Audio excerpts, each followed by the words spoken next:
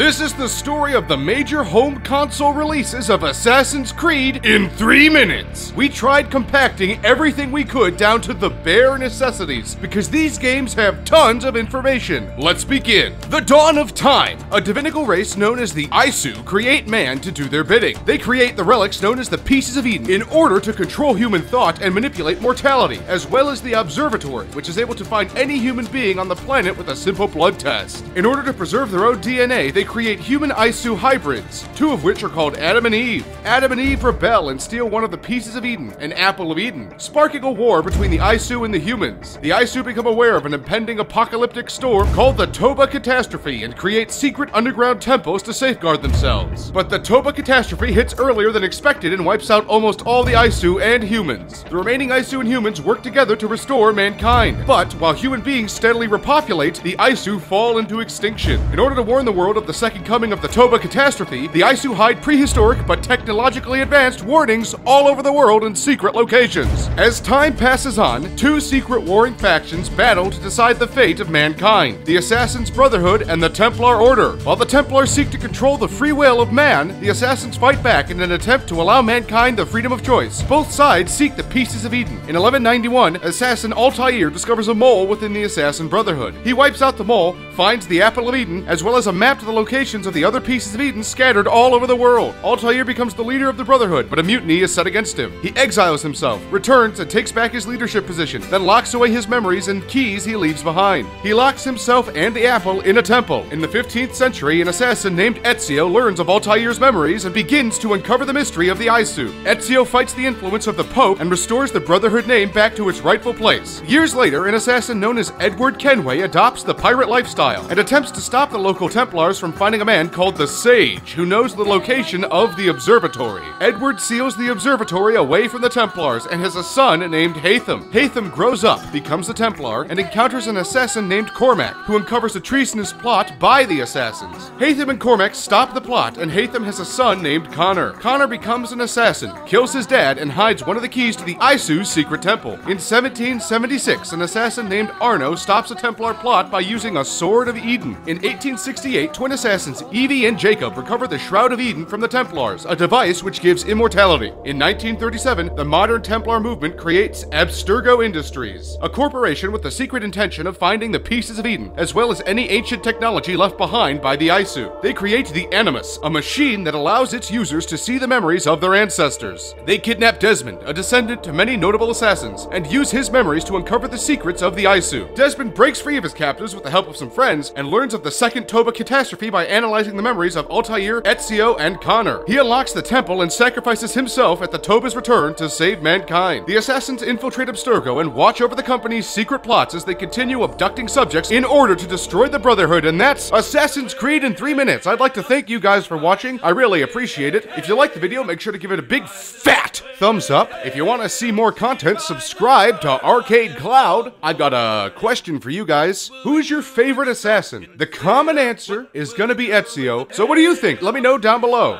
Don't fight in the comments.